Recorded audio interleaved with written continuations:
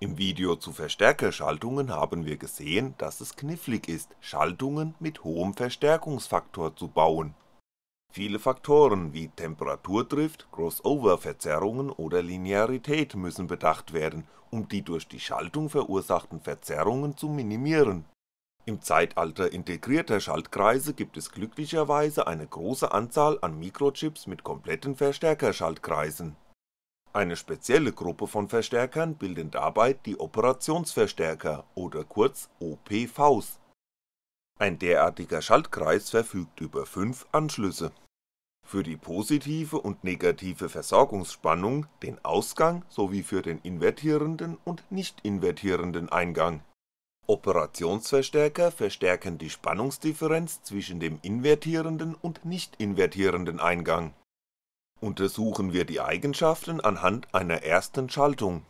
Als Versorgungsspannung fungieren zwei 12V Akkus, der invertierende Eingang ist mit dem Masseanschluss verbunden und der nicht invertierende Eingang ist mit einem Potentiometer verbunden, mit dessen Hilfe eine variable Gleichspannung an den Eingang gelegt werden kann wird über das Potentiometer eine Eingangsspannung von nahezu 0V am nicht invertierenden Eingang eingestellt, messen wir eine Ausgangsspannung von ebenfalls fast 0V.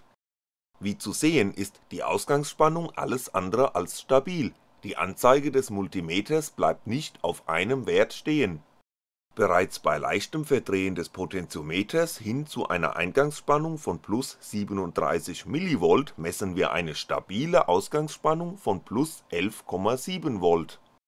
Der Verstärkungsfaktor von Operationsverstärkern beträgt üblicherweise 100.000 und mehr. Eine Spannungsdifferenz von 37mV am Eingang würde demnach eine Ausgangsspannung von 3700V hervorrufen wie im Video zu Verstärkerschaltkreisen erwähnt, kann die Ausgangsspannung die Versorgungsspannung nicht übersteigen, womit das Ausgangssignal abgeschnitten wird. Situationen, in denen die Ausgangsspannung gleich oder größer als die Versorgungsspannung wird bzw. werden müsste, bezeichnet man als Sättigung des Operationsverstärkers. Wird die Eingangsspannung auf einen leicht negativen Wert justiert, so messen wir eine Ausgangsspannung von minus 12,9V ein Operationsverstärker in diesem Modus bezeichnet man als Komparator, abgeleitet vom englischen compare für vergleichen.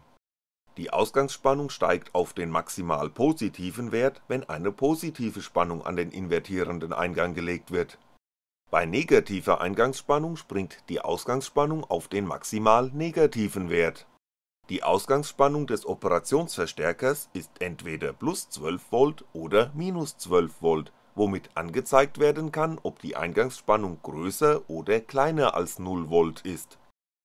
Wird der invertierende Eingang mit einem Spannungsteiler verbunden, kann die variable Spannung am nicht invertierenden Eingang mit einer beliebigen festen Spannung verglichen werden hier liegen minus 5,7V am invertierenden Eingang, womit die Ausgangsspannung ihren Wert beim Über bzw. Unterschreiten von minus 5,7V am nicht invertierenden Eingang ändert. Die feste Spannung kann ebenso an den nicht invertierenden Eingang gelegt und mit einer variablen Spannung am invertierenden Eingang verglichen werden. Somit kehrt sich das Schaltverhalten am Ausgang um die Ausgangsspannung ist jetzt minus 12V, wenn die variable Spannung oberhalb des Schwellwerts liegt.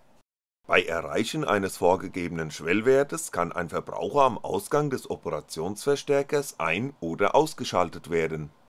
Die Schaltung des Verbrauchers kann dabei gegen die positive Versorgungsspannung, die negative Versorgungsspannung oder gegen Masse erfolgen. Entsprechend wird der Verbraucher beim Über oder Unterschreiten der Schaltschwelle eingeschaltet Liegt die Eingangsspannung des Komparators nahe an der justierten Schaltschwelle, springt die Ausgangsspannung des Operationsverstärkers ständig zwischen den Maximalwerten. Aufgrund von Rauschen überschreitet die Eingangsspannung die Schaltschwelle mehrfach, womit der Operationsverstärker seinen Schaltzustand jeweils ändert.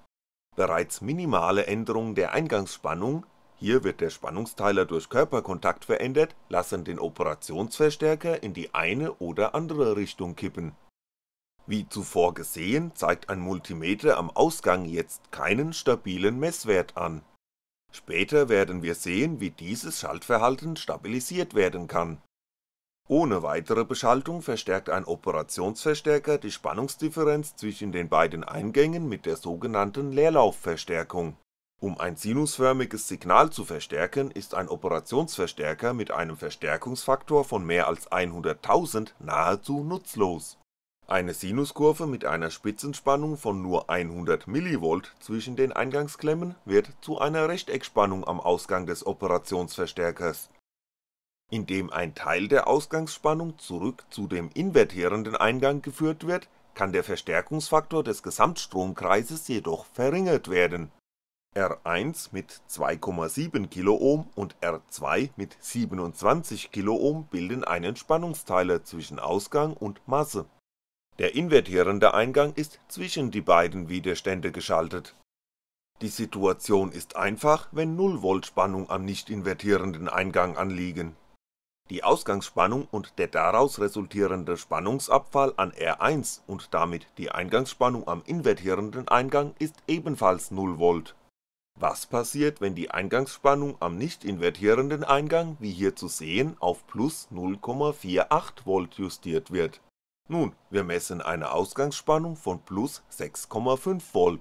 Wieso ohne das Koppelnetzwerk aus den beiden Widerständen würde die Ausgangsspannung bei einem angenommenen Verstärkungsfaktor von 100.000 auf plus 12V schnellen.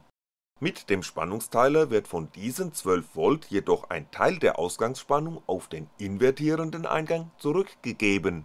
Aus den Beziehungen im Spannungsteiler erhalten wir einen Spannungsabfall von 1,1V an R1 bei einer Gesamtspannung von 12V Liegen plus 1,1V am invertierenden Eingang, so beträgt die Spannungsdifferenz an den beiden Eingängen jetzt minus 0,62V. Damit würde der Operationsverstärker jetzt auf eine Ausgangsspannung von minus 12V kippen. Das ist jedoch nicht zu beobachten. Die Spannung am invertierenden Eingang wird lediglich so weit erhöht, bis ein Gleichgewichtszustand erreicht ist. Durch Erhöhung der Spannung am invertierenden Eingang wird die Differenzspannung zwischen den beiden Eingängen reduziert, die Spannung am nicht invertierenden Eingang bleibt ja konstant bei plus 0,48V. Im Gleichgewichtszustand gilt, dass die Ausgangsspannung gleich der Differenz der Eingangsspannung multipliziert mit der Leerlaufverstärkung ist bei der sehr hohen Leerlaufverstärkung des verwendeten LM324N ist diese Differenz entsprechend sehr klein, mit dem Multimeter kaum messbar. Der Verstärkungsfaktor der Gesamtschaltung hängt ab von den Widerstandswerten von R1 und R2. Es ergibt sich der hier zu sehende Zusammenhang, der auf der Projektseite ausführlicher besprochen wird Negative Rückkopplung durch einen Spannungsteiler reduziert den Verstärkungsfaktor eines Operationsverstärkers. Die Gesamtverstärkung der Schaltung bezeichnet man als Gegentaktverstärkung, die Ausgangsspannung wirkt der Differenzspannung am Eingang entgegen. Ihr erinnert euch an die aus mehreren Stufen aufgebaute Verstärkerschaltung?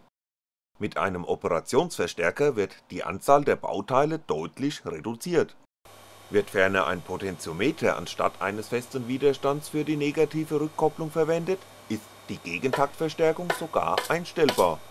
Erneut verwende ich Salzkörner um die Bewegung der Membran am Ausgangslautsprecher sichtbar zu machen. Da bewegt sich doch was.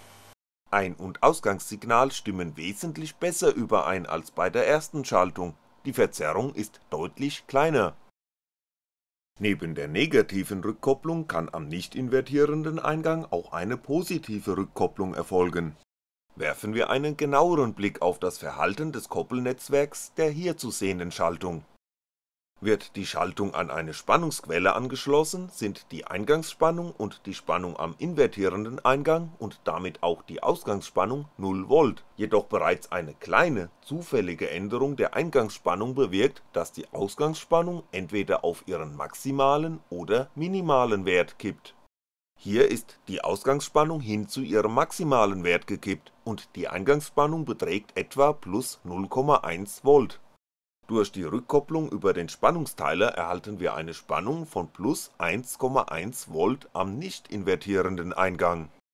Senken wir die Eingangsspannung auf etwa 0V, so bleibt die Ausgangsspannung stabil auf plus 12V und über die Rückkopplung messen wir etwa 1V am nicht invertierenden Eingang Selbst bei einer Eingangsspannung von etwas unter -0,2V messen wir +0,7V. Der Operationsverstärker kippt erst dann zur negativen Versorgungsspannung, wenn die Spannung am nicht invertierenden Eingang geringfügig unter 0V sinkt. Das passiert bei einer Eingangsspannung von etwa -1,1V Erhöhen wir die Eingangsspannung nun wieder schrittweise, so stellen wir fest, dass die Ausgangsspannung erst ab einer Eingangsspannung von +1,2V wieder hin zur positiven Versorgungsspannung kippt. Das Umschalten hin zur minimalen bzw. maximalen Ausgangsspannung geschieht bei unterschiedlichen Schaltschwellen. Eine derartige Schaltung nennt man Schmitt-Trigger hier wird der Schmitt-Trigger von einer Dreieckspannung angesteuert, wobei Ein und Ausgangssignal von dem Oszilloskop angezeigt werden. Das Ausgangssignal ist auf dem Minimum, solange sich das Eingangssignal unterhalb einer gegebenen Schwelle befindet, und es ist auf dem Maximum, wenn sich das Signal oberhalb einer unterschiedlichen, höheren Schwelle befindet. Das Ausgangssignal behält seinen Schaltzustand bei, wenn sich das Eingangssignal zwischen diesen beiden Schaltschwellen befindet das Schaltverhalten mit den zwei unterschiedlichen Schaltschwellen nennt man Hysterese. Der Schaltzustand des Schmitt-Triggers hängt nicht nur von dem momentanen Wert des Eingangssignals ab, sondern auch von dem in der Vergangenheit. Die Ausgangsspannung kann bei einem Eingangssignal von +0,5V entweder +12V oder -12V sein es ist +12V, wenn das Eingangssignal zuvor oberhalb von +1,2V gelegen hat und nun auf +0,5V sinkt. Umgekehrt ist das Ausgangssignal -12V, wenn das Eingangssignal zuvor unterhalb von -1,2V gelegen hat und nun auf +0,5V gestiegen ist.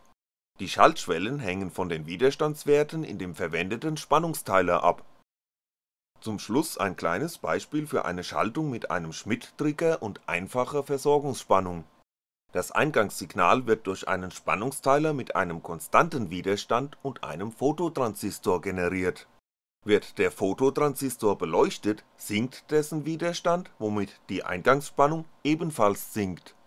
Wird die untere Schaltschwelle erreicht, sinkt die Ausgangsspannung des Schmitt-Triggers auf 0V womit ein an den Ausgang angeschlossener Verbraucher (eventuell eine Lampe) ausgeschaltet wird, wenn die Sonne scheint.